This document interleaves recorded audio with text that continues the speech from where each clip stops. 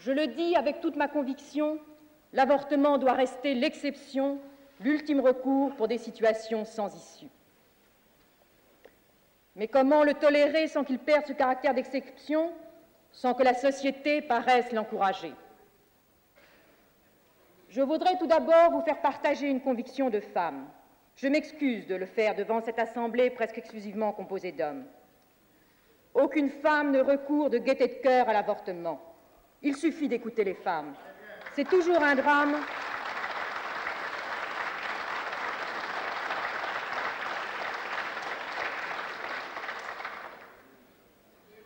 C'est toujours un drame, cela restera toujours un drame.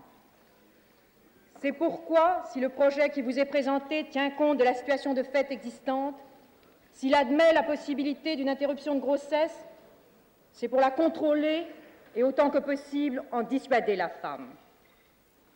Nous pensons ainsi répondre aux désirs, conscients ou inconscients, de toutes les femmes qui se trouvent dans cette situation d'angoisse si bien décrite et analysée par certaines des personnalités de votre commission spéciale a entendu au cours de l'automne 1973.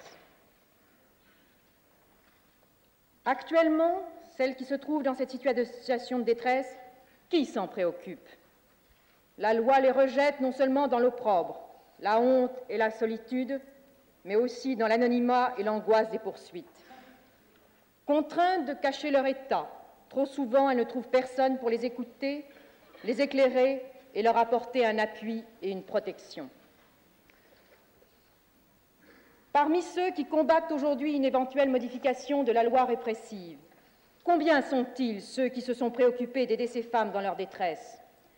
Combien sont-ils ceux qui, au-delà de ce qu'ils jugent comme une faute, ont su manifester aux jeunes mères célibataires la compréhension et l'appui moral dont elles avaient un si grand besoin?